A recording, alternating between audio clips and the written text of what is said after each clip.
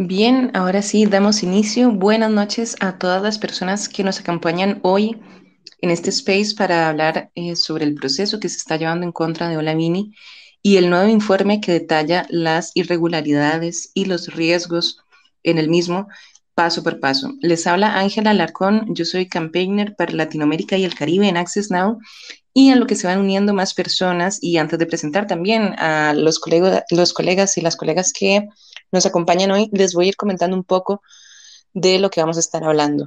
Y quiero empezar dando un poco de contexto sobre quién es Olavini. Olavini es un desarrollador de software sueco que reside en Ecuador desde el 2013. Y muchas personas lo consideran uno de los mejores programadores y expertos en seguridad digital en el mundo. De hecho, ha trabajado en varios proyectos de software de código abierto para mejorar la seguridad y la privacidad de todas las personas que usamos Internet. Ahora, cuando Ola llegó a Ecuador en el 2013, él pues se encontraba trabajando en software de código abierto para una empresa tecnológica global y unos años después, eh, en 2017, Vini y otros colegas dejan la empresa y deciden eh, crear el Centro de Autonomía Digital, que es una organización sin fines de lucro con sede en Quito que también se centra en el desarrollo de software de código abierto y en la mejora de, la privacidad del software en general. Y actualmente Vini ocupa el puesto de director técnico del centro. Bien, Vini ha sido perseguido durante los últimos tres años por el Estado ecuatoriano, específicamente desde abril de 2019, por acusaciones que en primera instancia tienen un tinte político y luego pasan a la vida judicial, pero son acusaciones que finalmente no cuentan con un sustento probatorio en términos técnicos. Y en ese sentido es que la misión de observación permanente que monitorea el caso y que está conformada por organizaciones de Ecuador y organizaciones también regionales y globales de la sociedad civil, publicó el pasado lunes, 9 de mayo, hace dos días, el informe que les mencioné y que aborda cada parte del proceso judicial contra Olavini y analiza las distintas facetas, en este caso bastante paradigmático para los derechos digitales. El informe se publica justo una semana antes de la reinstalación de la audiencia del juicio en contra de Olavini, que va a ser el lunes que sigue, el lunes 16 de mayo, donde el Tribunal de Garantías Penales eh, va a analizar las pruebas que presenten ambas partes, es decir, la Fiscalía y la Defensa, y va a declarar culpable o no a Olamini por el supuesto delito de acceso no consentido a un sistema informático, delito que establece una sanción que va de los 3 a los 5 años de privación de libertad. Entonces, nada, este Twitter Space va a procurar eh, destacar las partes más importantes del informe, puntos claves del proceso, irregularidades, vulneraciones registradas, también las causas subyacentes de la acusación y eh, debilidades técnicas y, otros riesgos. Eh, procedo ahora sí a presentar a las y los especialistas que nos acompañan hoy para hablar de este tema. Se encuentran acá Catalina Moreno, coordinadora de la línea de inclusión social de Fundación Carisma. Nos acompaña también Diego Casar, editor y director en la revista La Barra Espaciadora.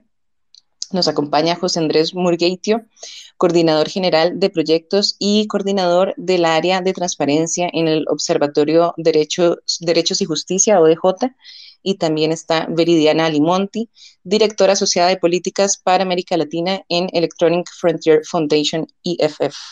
Bienvenidas y bienvenidos, gracias por unirse a este espacio. Y para eh, entrar en materia, quisiera iniciar haciéndoles una pregunta eh, a los y las especialistas que muchas personas eh, se hacen, que es, ¿por qué el Estado ecuatoriano, tanto en el gobierno anterior como en el gobierno actual, persigue a la MINI?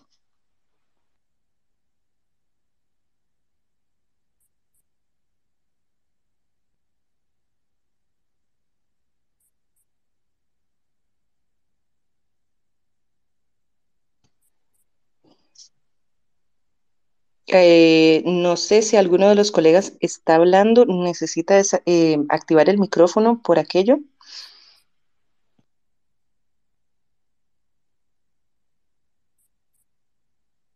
Eh, claro, sí.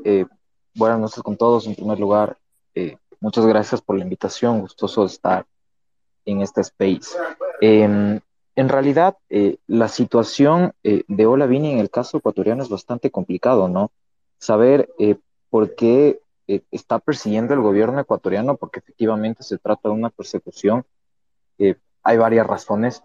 pero al menos desde nuestra organización, y lo puedo decir de manera personal, es, eh, si se pudiera decir, por, por, quizá el desconocimiento que tienen las autoridades del trabajo que ha hecho Olavini, porque se lo considera como una especie de amenaza. Amenaza eh, en el sentido de, por ejemplo, sus conocimientos sobre informática, eh, hay que aceptarlos, son superiores de las que la mayoría de instituciones tienen.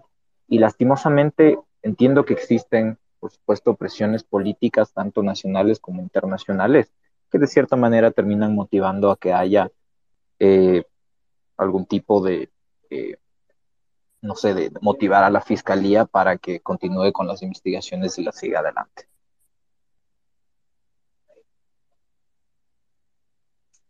Hola, buenas noches a todos y todas. Em, primero me gustaría agradecer y la, la, oportunidad de poder hablar sobre tan importante caso en un momento crucial en que su audiencia de juicio se reinstalará la semana que viene. Y bueno, lo que decía José es uh, importantísimo para empezar a entender el caso.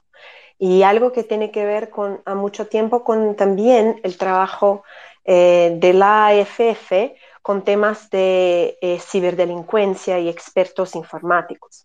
El, desconocimiento de la tecnología y del labor de expertos informáticos, desarrolladores de software, como es Olavini, en muchos, en muchos momentos ha llevado a la persecución de esta comunidad. Eh, principalmente porque muchas veces suelen tener hábitos que pueden parecer sospechosos a las personas que no hacen parte de esta comunidad, teniendo en cuenta la manera como protegen sus comunicaciones, ¿no? Y, también porque suelen tener conocimiento muy amplio de los problemas de seguridad que tenemos. Entonces, muchas veces el hecho de utilizar en herramientas de seguridad como Tor, ¿no? Eh, el navegador Tor y, y, ten, y, tener en muchos objetos tecnológicos pueden, para personas que son ajenas a esta comunidad, parecer sospechosos. Y eh, un punto importante que, que se señala en el informe, por ejemplo, son los indicios que se han, que se, que se han presentado al inicio de la acusación, eh, cuando en, en, aquellos momentos la acusación era de ataque a la integridad de sistemas informáticos. Y los indicios en este sentido eran los equipos tecnológicos que Olavini tendría, eh, tenía en su casa, eh, en su residencia. Y después podemos hablar sobre eso más adelante, después de la reformulación de los cargos para acceso no consentido a un sistema informático, tampoco eh, la imagen que presentan como evidencia eh, es algo que, eh, que, que, prueba un acceso no consentido. De hecho, no, no prueba ni siquiera un acceso. Y de otra parte, creo que es importante decir también, la FF ha tenido la oportunidad de ir a Quito en una visita in situ en 2019 y en aquella oportunidad eh, para verificar eh, de cerca cuestiones del caso de la persecución penal en contra de Olavini. Y en aquella oportunidad eh, nosotros eh, hicimos ¿no? una declaración en una rueda de prensa, después publicamos también eh, un artículo sobre esto, eh, que, que, nos parecía, que nos llamaba la atención eh, el, el, uh, el más, las ramificaciones políticas que podrían tener la, la acusación en contra de Olavini, ¿no? Eh, y, y cómo la inocencia o la culpabilidad de Olavini era un hecho eh, que se debería determinarse por un juicio justo y no por estas ramificaciones políticas. Pero a nosotros llamaba la atención cómo su, uh, cómo su inocencia o culpabilidad podría tener eh, consecuencias que afectaban distintos actores políticos. Y esto, bueno, tenía que ver también con lo que hablamos acá hoy.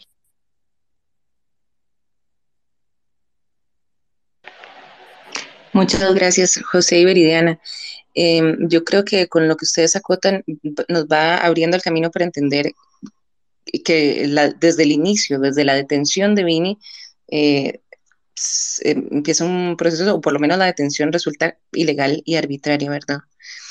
Y, y, bueno, desde el 2019, que es cuando esto ocurre, hasta ahora ha sido como un largo camino de irregularidades y, y de vulneraciones en el proceso jurídico y también de carencias como importantes en la presentación de prueba, como acotaba Veridiana, que finalmente también sienta un precedente preocupante eh, cuando sobre el, acercamiento que hace, digamos, el Estado ecuatoriano a los derechos humanos en entornos digitales. Ahora, yendo punto por punto, ¿cuáles eh, eh, serían los aspectos que ustedes acotarían como los más preocupantes para empezar en la dimensión jurídica que se han dado en el proceso de OLA?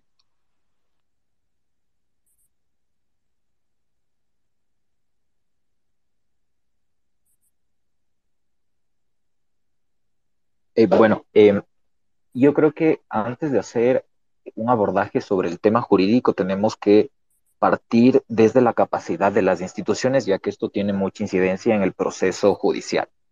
Entonces, eh, quienes hemos tenido la oportunidad de participar en las audiencias nos topamos con una realidad bastante eh, penosa hasta cierto punto, y es la falta de preparación que existen eh, por parte de los funcionarios, no solamente de la función judicial, sino, por ejemplo, eh, la policía, eh, los agentes, etcétera, eh, respecto a cuestiones informáticas. Entonces, volvemos justamente a lo que se mencionaba hace un momento, de que se desconoce tanto de qué son todos estos sistemas y se los asocia directamente con actividades delictivas. Entonces, ya en el tema del proceso como tal, llegamos a la audiencia y nos topamos con que existen policías que agentes, eh, personas que participaron, por ejemplo, en los allanamientos y en la detención, que no tienen ni la menor idea de cómo explicar eh, todas las cuestiones tecnológicas, no tienen incluso eh, la forma de explicar cuáles son algunos términos relacionados con informática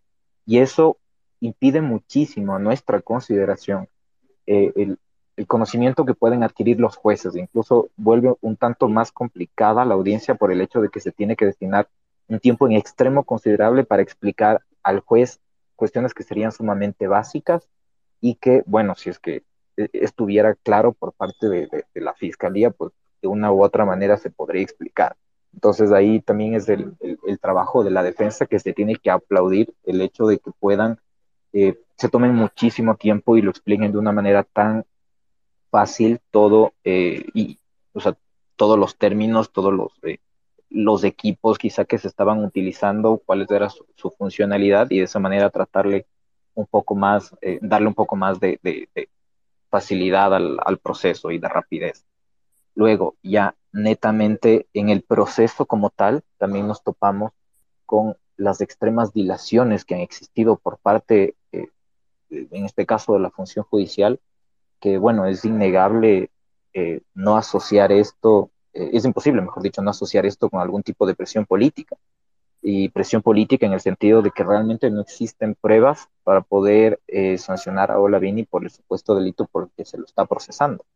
Entonces, ante esta falta de pruebas, eh, pues por supuesto seguimos posponiendo la instalación de las audiencias e incluso nos topamos que hace no mucho se hizo un allanamiento al centro de autonomía digital por un supuesto, un presunto delito de, fraude procesal y que evidentemente a nuestra consideración tiene el único propósito de sacar toda la información que durante todos estos años las autoridades no han sido capaces de obtenerlas eh, a través de los medios legales previstos.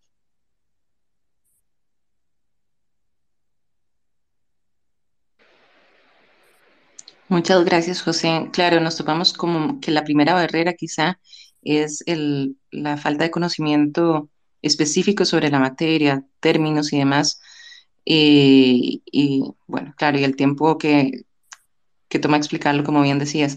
Ahora, em, sabemos que, que un gran problema ha sido las pruebas, ¿verdad? Lo que quieren presentar como pruebas y, demás. ¿Podrían eh, contarnos un poco de cuáles han sido aquellas cosas que se han presentado como pruebas y por qué realmente son pruebas que podríamos quizá catalogar de débiles. Sí, eh, puedo comentar un poco en esto y, esto nosotros remarcamos en el informe, por ejemplo, al inicio de la persecución, cuando la acusación era todavía de ataque a la integridad de los sistemas informáticos, aunque no se decía qué sistema se había atacado.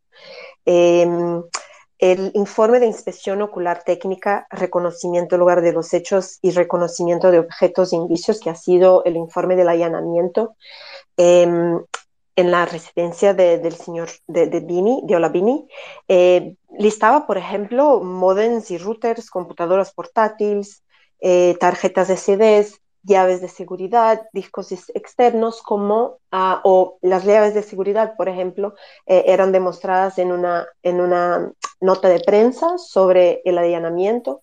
Y estos otros eh, equipos como modems, computadoras, discos, se mostraban en el informe como indicios eh, de, del cometimiento de un, de un ciberdelito. Em, y esto em, demuestra, incluso libros de programación eh, serán presentados en la nota de prensa como algo que, era sospechoso y que se podría ah, presentar como evidencia de que eh, Olavini había, ah, había atacado sistemas informáticos. Esto, es, esto ha sido el primero. Y después, cuando no se ha podido em, comprobar o presentar evidencia de que este delito eh, se había, eh, de, que esta, de que este era el delito que Olavini había practicado, se reformularon los cargos para acceso no consentido desde a un sistema informático. Y en este caso, la principal evidencia, la principal, la principal prueba es una fotografía eh, que, se, que se dice presuntamente como una captura de pantalla, pero de hecho parece una imagen de una computadora eh, de un ordenador con una sesión eh, Telnet, que es em, una sesión em, de... Em, se ve las líneas de comandos y los utilitarios de estilo Unix, en que se ve eh, en la pantalla de una computadora portátil esa sesión de Telnet, que es un protocolo de comunicación poco seguro, que de hecho ha sido abandonado en su mayor parte por las tecnologías de cara al público, y que el hecho de que está abierto eh, a la Internet puede indicar un, problema, una cuestión de seguridad. Entonces se ve eh, la fotografía de esta pantalla y, que se puede ver ¿no? que, la, que fluyen cronológicamente las líneas de comando por la página. El protocolo Telnet se utiliza para, para, una, para un ordenador eh, comunicarse con un servidor remoto, pero no es un protocolo seguro. ¿no? Em, y lo que se puede ver en esta imagen, y sobre esto también hemos publicado un, artículo analizando esta imagen y el informe eh, retoma y, explica también este punto, eh, se puede ver que el sistema pide un nombre de usuario que no es ingresado, ¿no? Entonces, eh, lo que pasa es que muchos investigadores de seguridad hacen como nosotros llamamos como un toc-toc eh, por medio del protocolo Telnet, a ver si el servidor remoto está abierto a la Internet. Y, en este caso, como, como he dicho, esto puede indicar un problema de seguridad, ¿no? Em, y, y, esto ni siquiera se puede considerar un acceso, o incluso un intento de acceso, porque no se ha intentado poner una contraseña o credenciales que no eran eh, autorizadas para ingresar en el sistema, ¿no? Simplemente se ha hecho un toc-toc en una puerta a ver si alguien contesta. Simplemente esto. Em, y, esto es utilizado como la principal evidencia de el acceso no consentido a un sistema informático, lo que demuestra una cuestión, una debilidad de conocimiento sobre el ah, funcionamiento técnico de, estos protocolos y, de lo que ellos significan. Muchísimas gracias eh, a ambos por, sobre todo por tratar de poner en palabras tan claras eh, a cosas que a los mismos jueces no, a veces puede resultarles no muy cercanas. Eh, en la línea de, finalizar esta, esta, esta pregunta. ¿Cómo se ven entonces impactados los derechos humanos en entornos digitales en Ecuador a partir del caso de Ola? Porque así como en el caso de Ola Vini ha sido bastante evidente que ha tenido que repasarse algunos conceptos porque son ajenos, ¿cómo, esto y otras irregularidades, digamos, irregularidades que han habido en el proceso podrían también afectar derechos humanos en entornos digitales en general en, el país? Em, Cualquiera de los colegas eh, invitados como panelistas, siéntase libre de hablar en el momento que desee. Muchas gracias. Sí, eh, me parece que aquí yo quisiera intervenir eh, refiriéndome a cuatro puntos en particular. Primero, muchas gracias por la invitación y por quienes están conectados aquí por darse el tiempo de escuchar este panel. Quisiera eh, hablar de cuatro puntos en particular. Uno, el, primero es que este es un caso en el que Ola Vini se convierte en un efecto colateral de un contexto entre muchos otros efectos colaterales de, este contexto. El, al contexto al que me refiero es a que eh, en 2019 el Ecuador eh, está viviendo un, un, conflicto entre poderes políticos y una inestabilidad política, un proceso de transición que no termina de, aterrizar en ninguna instancia y, las, los actores políticos continúan, de hecho, en, en una confrontación que contamina eh, la vida democrática en general. Ese efecto colateral que es Olavini también eh, acarrea otros efectos colaterales como el perito que es involucrado en el proceso para alargar eh, el, el, periodo de investigación, o perdón, el amigo de, de Olavini que es vinculado al, al, caso, y otros que en los allanamientos, en el proceso de investigación, incluso se abre este otro caso en contra del perito y terminan convirtiéndose en víctimas colaterales de algo que nació eh, con, con, digamos, de una manera muy, muy, muy oscura, muy opaca. El segundo punto al que me quiero referir es que eh, finalmente este caso es un reflejo muy claro de cuán vulnerable y de cuán flaco es el sistema de justicia en un país que eh, nadie puede negar que ha permitido la infiltración de la corrupción, la infiltración del poder político en el sistema de justicia, en sus jueces, en sus fiscales, y eh, en todos los momentos del proceso nosotros somos testigos de cómo eso ha incidido y es lamentable, y ahí voy al tercer punto al que me quiero referir, porque esto implica una amenaza gravísima a la estabilidad de la democracia, a la salud de la democracia. Y aquí entra un poco eh, el tema sobre la pregunta que planteaste, y es que el vulnerar la democracia en nombre de la democracia es algo que se ha convertido en un discurso público, incluso oficial. Y eso es gravísimo porque afecta muchísimo las libertades y los derechos humanos en muchos aspectos.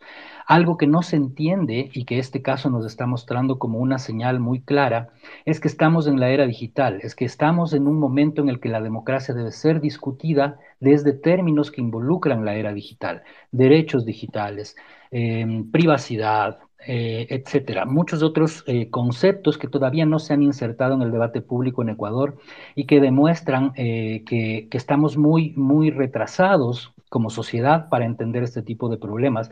Y eso es un, grave peligro, una grave amenaza para la democracia ecuatoriana porque no estamos entendiendo em, principios básicos sobre, sobre la vida democrática. Este caso demuestra que el Ecuador está permitiendo una serie de vulneraciones a un ciudadano y que eso podría repercutir mañana en todos los ciudadanos de este país y en ciudadanos de otros países que residan en este país.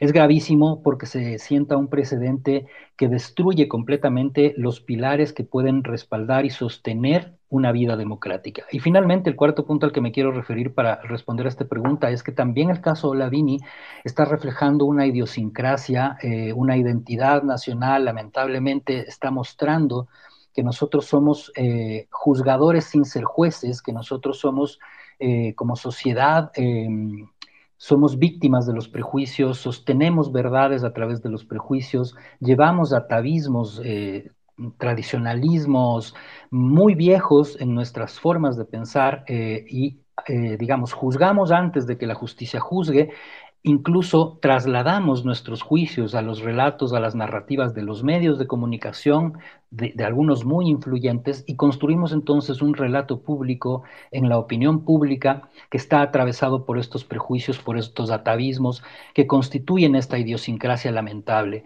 Todo esto eh, que yo he mencionado constituye de alguna manera una explicación del país en el que vivimos y es gravísimo que en este país en el que vivimos tengamos en este caso, entre muchísimos otros, a un efecto colateral llamado Olavini. Yo... Adelante, por favor.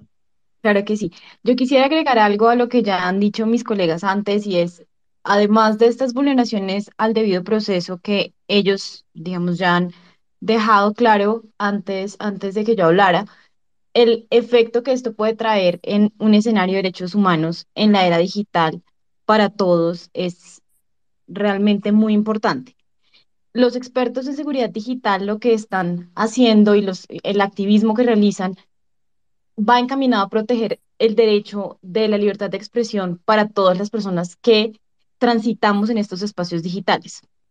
Entonces, la persecución de estos expertos que están velando por esas condiciones para que eh, podamos disfrutar de un Internet libre y seguro va a repercutir negativamente en nuestro ejercicio, nuestro, derecho, nuestros, nuestro ejercicio de derechos en el espacio digital.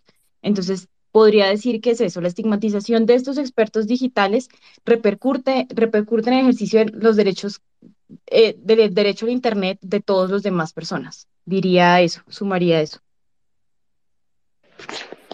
Muchísimas gracias por, por la intervención a los dos, eh, a Diego por el contexto, que nos ayuda a entender mejor en, en qué, cómo es que se desarrolla esto en el país y también como eh, acotaba la colega de Fundación eh, Carisma, que esto finalmente es algo que afecta a, a, más personas. Y yo creo que, por ejemplo, en el caso de Ola, él es también un defensor de derechos humanos, pero el hecho de que pase por una vía digital a veces parece que cuesta un poco más que las personas lo, lo puedan entender de esa manera.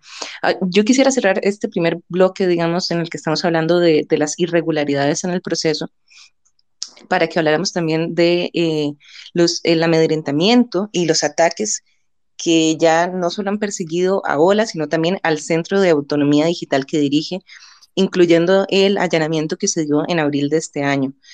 Eh, ¿Cómo se ha visto el centro afectado a raíz de la persecución de Olavini?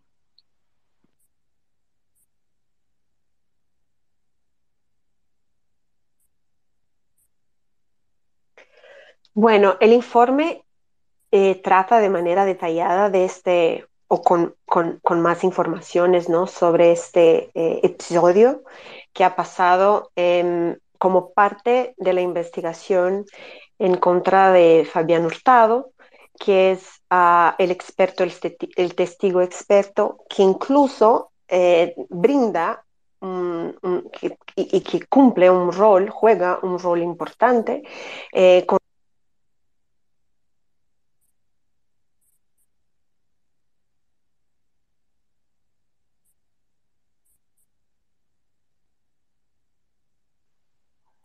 Veridiana, me parece que te perdimos un momento. ¿Me escuchan? Sí, ahora sí. Ah, perdón.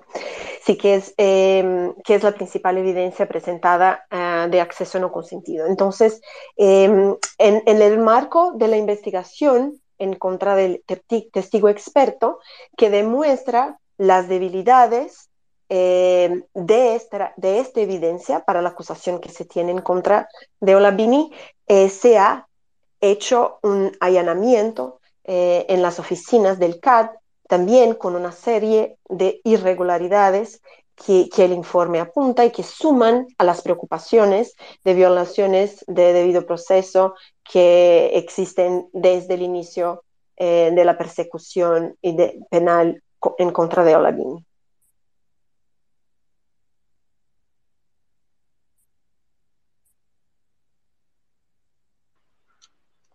Muchas gracias, bueno, Veridiana. Eh, oh, adelante, José. Ok, gracias. Eh, bueno, yo eh, respecto a, a, este último allanamiento al Centro de Autonomía Digital, eh, veo dos mensajes claros. El primero, que existe realmente una desesperación por parte de las autoridades porque desde que inició el proceso no han podido demostrar que se ha cometido, o sea, que se ha cometido un acto ilícito, no tienen las pruebas, no tienen digamos, el personal adecuado para, entre comillas, sustentar su teoría de caso. Y en segundo lugar, viene algo que ya estábamos comentando y es esta amenaza, eh, bueno, más allá del, del por supuesto, de, del derecho de, a la privacidad e incluso a la libertad de expresión, el derecho a la libertad de asociación. Entonces, eh, si nos alejamos por un momento de este caso, eh, conviene preguntarse qué es lo que sucedería en otro proceso penal contra una persona que es directora de una fundación. Entonces, directamente el hecho implicaría que, digamos, el hecho de que esta persona sea procesada penalmente, entonces sería de buscar algún tipo de acto irregular supuestamente dentro de la fundación, de la empresa, de lo que sea que está manteniendo esta persona. Entonces, este acto que es una clara persecución, eh, demuestra cómo, eh, bueno, más bien refuerza esta teoría de la persecución que existe hacia Ola Vini em, y que, bueno, convendría también ponerse a hablar un poco de cuáles serían los intereses detrás de esto, pero claramente es que se lo considera como una fuerte amenaza para, para los gobiernos de turno. Y lastimosamente yo creo que esto no es algo que sucede solamente aquí en el país, sino más bien en, muchas partes del mundo, el hecho de que la privacidad, el, mantener tu, tu, información, tus datos de manera reservada, se considera una amenaza porque se vuelve difícil que seas controlado por parte de una autoridad, que seas controlado respecto a qué es lo que te gusta, qué es lo que no te gusta, si es que apoyas al líder, si es que no apoyas al líder, si es que apoyas un partido, si es que te gusta cierto tipo de producto, etcétera.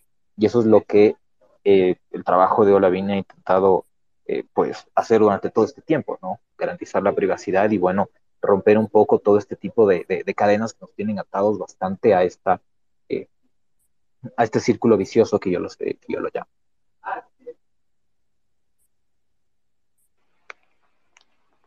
Muchas gracias. sí, en efecto, la, las violaciones a la privacidad em, muchas veces se justifican en, en que no hay nada que ocultar, que nadie debería preocuparse y resultan en narrativas bastante simplistas.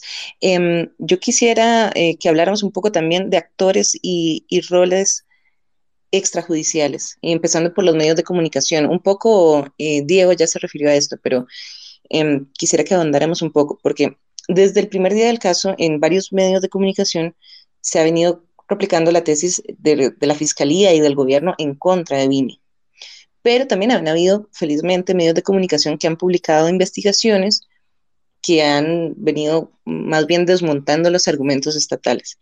Entonces, ¿cómo ha sido en general la cobertura de los medios sobre el caso y por qué creen que se ha dado de esa manera? ¿Y cómo podemos evaluar o, ponderar el rol de los medios de comunicación respecto a este caso?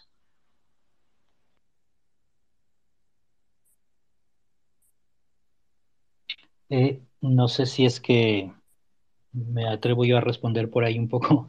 Eh, me parece que es importante tomar en cuenta, como yo decía, este, este correlato que parece existir alrededor de, muchos de los casos más sonados en Ecuador en, que están en el sistema de justicia, y es que siempre tenemos un relato desde el sistema judicial y otro relato paralelo desde los medios de comunicación, y muchas veces y no, no hablo de todos los medios de comunicación, nunca, nunca soy amigo de generalizar, pero el relato en, en muchos medios que son muy incidentes, que son muy influyentes, muchas veces está antes que el relato mismo del sistema de justicia.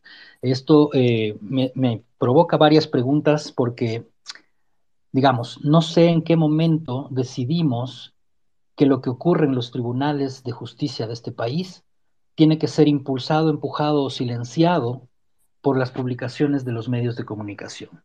En este sentido, me parece que esto se ha convertido en una práctica un tanto perversa que está afectando gravemente a la estabilidad democrática, porque tenemos medios eh, que están contando algo muy atado a las líneas oficiales o a las líneas del poder, cuando el cuando el medio de comunicación o el medio de prensa debe cumplir precisamente la función de vigilar si es que ese poder está cumpliendo o no con su función de servicio eh, público. En este sentido, me parece que eh, hay que ser muy cautos al analizar los relatos de los medios de comunicación con respecto al caso Olavini. Eh, en el trabajo que yo estoy haciendo de seguir desde el primer día este caso hasta, hasta hoy, lo que he encontrado es, por ejemplo, que han partido muchos de los, de los seguimientos desde los medios al caso Olavini, eh, desde los prejuicios precisamente, desde cómo viste Olavini, desde qué usa, desde por qué tiene eh, tal cantidad de computadores y de dispositivos digitales. Es decir, los hechos que llaman la atención superficialmente no son hechos, son solamente apariencias. Sin embargo, esas apariencias han construido los relatos mediáticos que que más se han posicionado, sobre todo en los primeros meses en los que ocurrió este caso.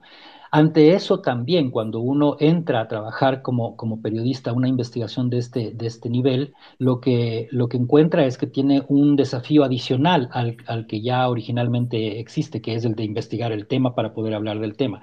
Y este desafío adicional es el de encontrar el por qué ciertos medios replican el relato oficial para poder entender qué es lo que nosotros debemos evitar hacer como medio de comunicación, como periodista, em, sentimos que es, la, que es obligación eh, también cuestionar nuestros propios relatos como periodistas. Los relatos periodísticos construyen finalmente una, una opinión extendida, una opinión en la, en la sociedad, y esto es gravísimo cuando no estamos cuidando los detalles, cuando no estamos cuidando que con una palabra, con una publicación, con un artículo, con un comentario, podemos estar enterrando, podemos estar sepultando a una persona o, o a muchas más.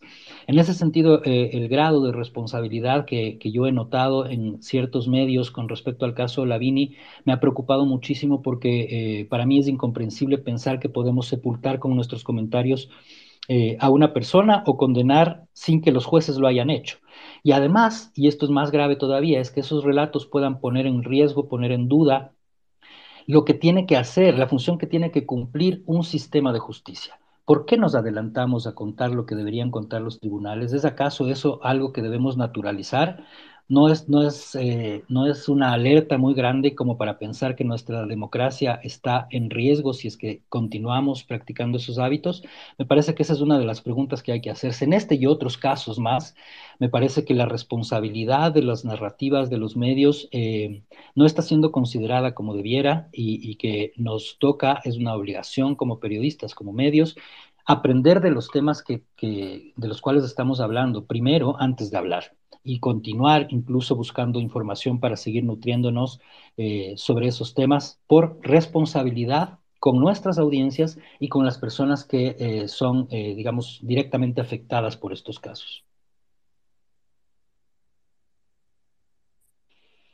Bueno, quisiera intervenir justo añadiendo un poco a lo que menciona Diego y quisiera más bien ahondar en la grave amenaza que representa todo este tipo de, si se pueden decir, notas periodísticas sin ningún tipo de sustento, que en muchos casos han sido notas que no tienen un debido sustento y más bien se basan, nuevamente repiten la versión oficial, e incluso, eh, además de prejuzgar, digamos, a, a Ola, pues lo juzgan por su forma de ser, por su forma de vestir, como ya se mencionó, y es el peligro que corre el proceso como tal y de, bueno, de, que se vea influida la, la, posición de los jueces. Entonces, en derecho, el, el juez siempre va a tener esta, eh, esta calidad de persona imparcial que tiene que, por su rol de, de, persona imparcial, tiene que analizar de la manera más objetiva posible los argumentos de una parte y de otra parte. Pero también no se puede negar el hecho de que el juez es una persona y el juez puede tener acceso a medios de comunicación, a escritos de radio, a redes sociales, por ejemplo. Y a lo que voy es que el hecho de que una nota periodística que se publica y digamos hace no mucho, una de las últimas notas fue, y me permito leer, Olavini, el, el encriptador desencriptado y sus conexiones con la política. Entonces, a propósito de esta nota, eh, Twitter obviamente se llenó de bastantes eh, comentarios acerca de Olavini. Entonces hay que preguntarse qué pasaría si es que los jueces desconozco, si es que los jueces tienen eh, Twitter en este caso, ven que su nombre está dentro de eh, las listas de los, de, de, de los trends eh, durante un día, durante unas cuantas horas. Y obviamente empiezan a leer los comentarios que en muchos casos pueden ser, por supuesto, de, de cuentas falsas y por en otros casos sí puede ser de personas que aún no, no, contrastan, digamos, la información de los medios, o sea, de personas que confían muchísimo en este papel de los medios de comunicación como aquellos dueños de la verdad, que en general, eh, por supuesto que ay, ayudan muchísimo más bien al juego democrático, pero el punto es que se puede, el juez se puede ver influido por el temor de que eh, puede existir algún tipo de atentado hacia él, hacia su familia, o simplemente por su reputación. Y ahí volvemos al hecho de que todas estas notas influyen y van generando cierto tipo de pensamiento dentro de la eh, comunidad que es bastante peligroso. Entonces, ahí la importancia de, bueno, eh, por supuesto yo soy abogado, pero dentro de los estándares internacionales, eh, que se informe de manera objetiva, sin hacer ningún tipo de, por supuesto, de, de, de, juzgar a una persona por, como mencionó Diego, por su vestimenta, por su forma de vestirse, por su nacionalidad, puesto que de una u otra manera esto no solo genera discriminación hacia la persona, sino que poco a poco se empieza a generar cierto tipo de prejuicios hacia personas de la misma nacionalidad, o digamos, no solo eso, personas informáticas, que puede, por supuesto, afectar, afectar procesos judiciales o simplemente afectar los derechos de las personas en el día a día. Pero el peligro más grande en este momento eh, y que ha representado desde el inicio del proceso es esta eh, amenaza de, que el, juez se vea atemorizado de lo que las personas, de lo que la sociedad pueda creer de por tomar una o tal decisión.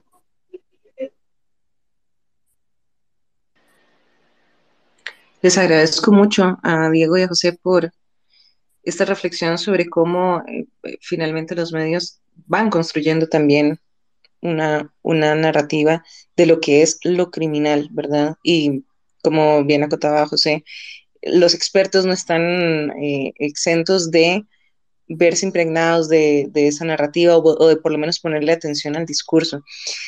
Ahora, siempre eh, hablando también de, la prensa, en el caso de Olavini, eh, fue justamente iniciado con una rueda de prensa, que fue en su momento dada por la ministra del Interior de entonces, que era María Paula Romo, del, que era del gobierno actual, pero el, proceso todavía sigue adelante, incluso con el gobierno de ahora y con lo que es más, con el impulso de la Fiscalía General del Estado.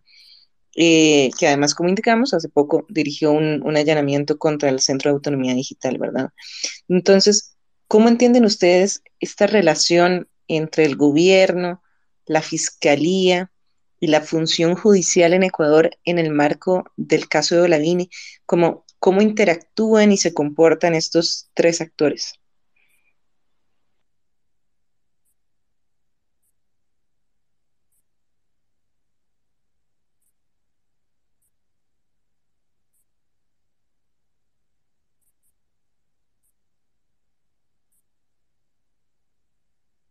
Bueno, nuevamente creo que eh, voy a tomar la palabra yo.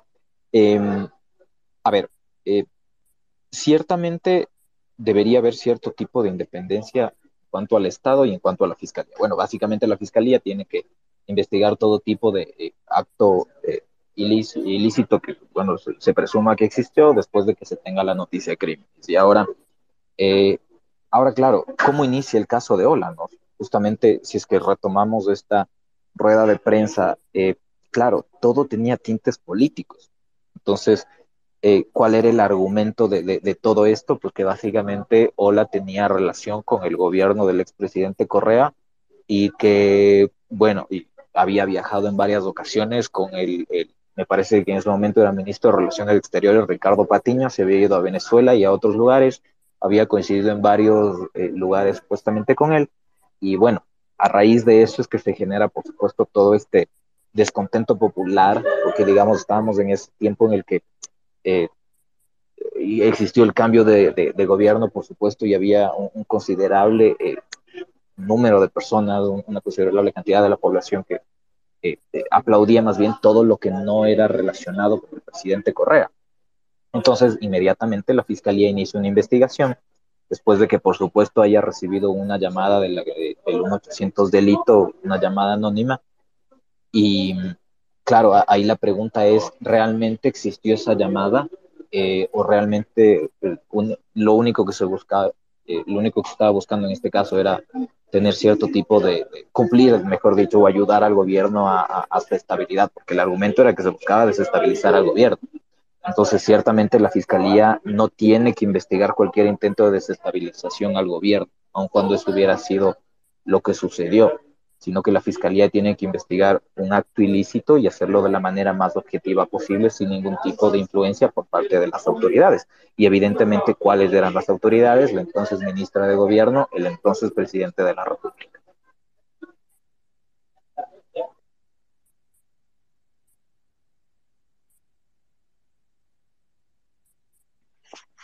Gracias, José.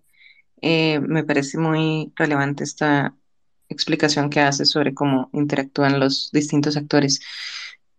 para ir cerrando la conversación, em, también quería, quería preguntarles, desde su percepción, ¿qué está haciendo falta, qué se necesita para poder cerrar el caso de Olavini y de qué depende que esto ocurra?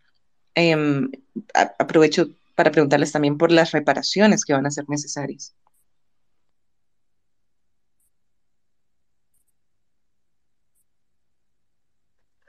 Bueno, me parece relevante decir que un punto fundamental que se necesita es que de hecho se analice eh, lo, es, de que, es que de hecho se analice lo que se tiene en términos de acusación eh, con el conocimiento técnico y la claridad jurídica que esto necesita, ¿no?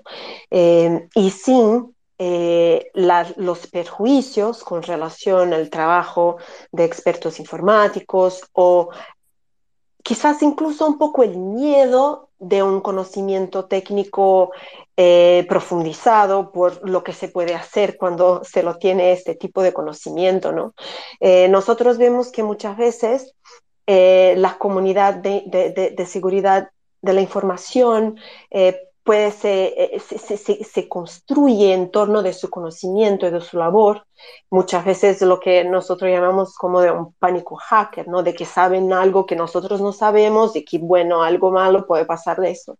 Así que algo que, se, que, que, que necesita pasar en este caso es mirar con imparcialidad, con conocimiento técnico y, y, también... Eh, un cuidado jurídico necesario a los derechos y las garantías proces procesales, lo que ha pasado hasta el momento, ¿no?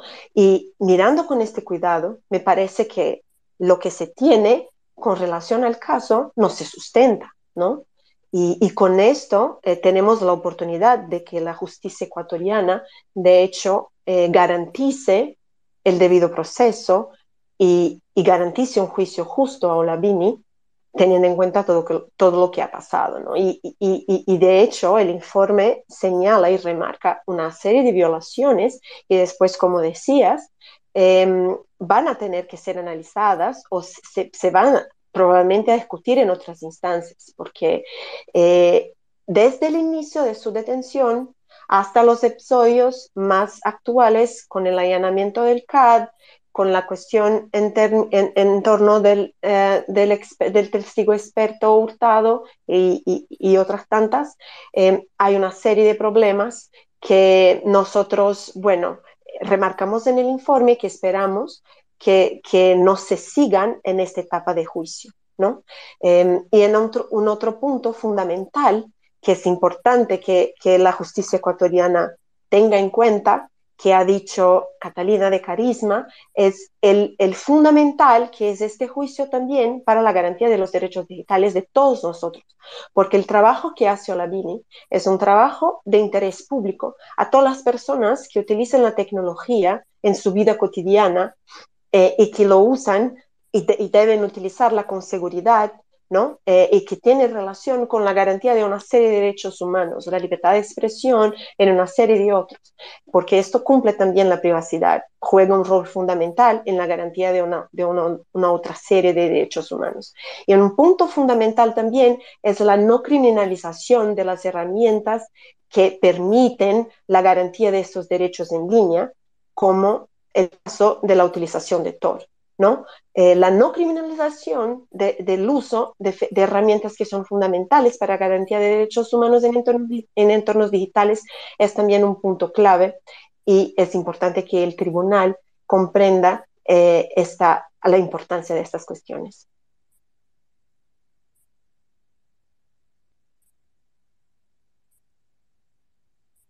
Sí, tal vez sumaría a ello como parte de las reparaciones o como de las conductas que serían deseables una vez finalizado el juicio, sería esta modificación del enfoque de parte de las autoridades, ¿no? Como una conciencia de la labor que realizan estos expertos y de ahí partir hacia un nuevo enfoque en cómo las autoridades perciben a quienes se encargan de alertar vulnerabilidades en los espacios digitales. Entonces, más allá de percibirlos, o sea, un cambio de la perspectiva para que más allá de percibirlos como una amenaza y de estigmatizar su labor de cara a la comunidad, se entiendan como aliados que pueden ayudar a alertar sobre vulnerabilidades que hagan más seguro el espacio de Internet. Entonces, a lo mejor como ese cambio de enfoque, una vez terminado el juicio, sería lo deseable eh, en este punto. Eh, eh, solo me, me, gustaría añadir algo más que creo que en, cuestiones de reparación es súper importante. Y mm, en este caso es limpiar la imagen de Ola. Creo que eso es realmente eh, algo fundamental eh, y que lastimosamente eh, se ha visto bastante opacada, no solamente aquí en el país, sino en todo el mundo. Y sobre todo por el desconocimiento, volvemos al, al, al digamos, al meollo del asunto, de la importante labor que hace él y, bueno, personas como Ola también en, pues, por supuesto, la protección del derecho a la libertad de expresión eh, y bueno, servir de esta especie de, de, contrapeso contra el, el, los poderes de turno que no siempre responden a los verdaderos intereses de la mayoría. Entonces, una vez que limpiemos, por supuesto, eh, se haga justicia, y estoy segurísimo que se va a hacer justicia, eh, en este caso con Olavini, pues también lo importante es, eh, como segundo plano y obviamente de manera consecuente, limpiar, el, en este caso, toda la, la, la, la no sé, la imagen que tienen las personas que se dedican a las cuestiones digitales, que lastimosamente eh, en los últimos tiempos, y bueno, no es necesariamente por el caso de Ola, pero sí por el desconocimiento, toda persona que protege mucho su información eh, o que sabe manejar de manera eh, más, un poco más alta que el promedio de, de, de los ciudadanos, lo consideran hacker, y digamos, hacker es un término bastante peyorativo, ¿no? Entonces, pensar que toda persona que maneja bien eh, un dispositivo va a poder acceder a la información de otra persona, va a poder acceder a la información de una institución, realmente es algo erróneo. Simplemente lo que está haciendo esa persona es proteger su privacidad y hay que destacar muchísimo nuevamente la labor de OLA, que es promover el respeto a la, a la privacidad de todas las personas.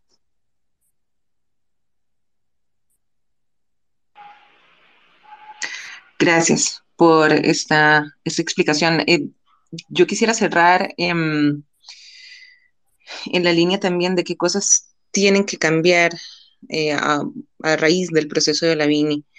Es qué tendría que cambiar en el sistema de justicia ecuatoriano para que esto no se repita, porque finalmente existe un peligro latente de que esto vuelva a ocurrir. Eh, Catalina mencionaba ya, por ejemplo, la parte de cambiar ir cambiando la percepción del trabajo de, que realiza la comunidad de la seguridad, eh, de, de, informáticos de la, de la seguridad, ¿verdad? Eh, ¿Qué otras cosas tendrían que ir cambiando en el sistema de justicia ecuatoriano? Y, y con esto ya cierro, para garantizar que esto no se repita en el futuro. A mí me gustaría complementar con las respuestas que dieron mis, mis colegas de panel hace un momento. Eh, sobre algo en particular. Me parece que el sistema de justicia ecuatoriano y el Ecuador en general tiene en este caso una oportunidad. Quiero verlo como una oportunidad porque me parece que si es que el tribunal evalúa y valora las supuestas evidencias en contraste con eh, lo que se maneja como si fuera el hecho del caso, pues descubrirá que, que puede tomar una mejor decisión, por, por, decirlo de algún modo. ¿Qué es lo que quiero decir con esto? Hasta el momento, eh, Fiscalía, sus testigos, eh, no han podido demostrar cuál es el hecho que se investiga. Sin embargo, todas sus, sus participaciones han tenido que ver con los prejuicios que llevan a este caso, eh, que llevan a que se lleve adelante este caso, que me parece que ese es el, el gran problema. ¿Cuál es el hecho? Si es que la justicia tiene esta oportunidad, podrá evaluar cuál es el hecho, si es que existe o no, y cuál es el objeto de ese hecho que es el que se está uh, eh, investigando o el que se está juzgando. En ese sentido, esa oportunidad también podría eh, devenir en una lección para todos de saber, y esto va eh, a responder a esta última pregunta, que nos proporcionaría la posibilidad de discutir la capacitación necesaria de jueces y fiscales en general del sistema de justicia sobre algo que es urgente en este tiempo, y, es que además estamos muy tarde. La sociedad ecuatoriana necesita entender que vivimos en la era digital, que por lo tanto todas sus especialidades, todas sus funciones, todos sus funcionarios deben insertarse en la era digital con todo lo que esto implica, con discu discusiones sobre derechos y libertades en la era digital, con conceptos que deben ser insertos en las, en las discusiones eh, a nivel jurídico, con especialistas, peritos, investigadores, eh, eh, fiscales, hay, una falta de especialización en, en los fiscales que es eh, sumamente escandalosa y este caso nos lo ha demostrado también. Entonces yo considero que esta es una oportunidad. Confío también en que la justicia, eh, mejor dicho, en que se va a hacer justicia en este caso. No nos interesa a nosotros juzgar, nos interesa plantear los hechos que no se ha planteado desde ese sistema de justicia. Para que se pueda eh, llegar a un destino final que, que nos deje una lección eh, de crecimiento y no que nos, nos, nos deje un retroceso como sociedad. Esa es mi esperanza, eso es lo que creo yo que debería ocurrir para, para generar algún tipo de cambio. Contundente respuesta, Diego, y, y, con un tinte esperanzador, ojalá que sí. Eh, quiero agradecerles a todos y a todas eh, por sus intervenciones, a Catalina, a Diego, eh, a José Andrés, a Veridiana, y gracias también a todas las personas que se unieron para escuchar. Con esto damos por concluido este space sobre Olavini. Olavini, no sin antes recordarles que el informe está disponible en el sitio web de las 19 organizaciones que forman parte de la misión de observación permanente que monitorea el caso. Lo pueden encontrar con el nombre Informe de un proceso paradigmático para los derechos humanos en la era digital, el caso de Olavini. Y también recordarles una vez más que el día lunes 16 de mayo, el próximo lunes, se va a reinstalar la audiencia del juicio contra Ola y se determinará si se le declara culpable o no por el supuesto delito de acceso no consentido a un sistema informático. La misión de observación permanente va a asistir presencialmente para acompañar el proceso a través de los colegas de la Fundación Regional de Asesoría en Derechos Humanos, red y también del Observatorio eh, Derechos y Justicias, la ODJ. Esperamos que el tribunal entonces por fin termine la persecución contra la VINI y que se resguarden los derechos de la comunidad de, de seguridad informática en general. Gracias nuevamente por unirse y hasta luego. Gracias a todos, hasta luego. Gracias, buenas noches a todos. Muchas gracias. Gracias a Dios.